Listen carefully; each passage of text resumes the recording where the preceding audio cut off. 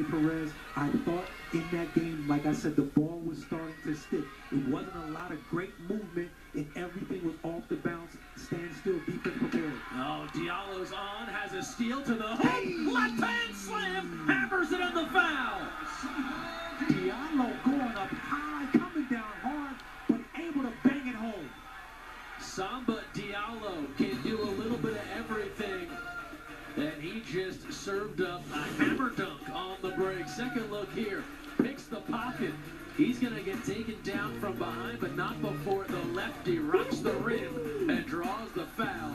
A free throw coming when we return. Manhattan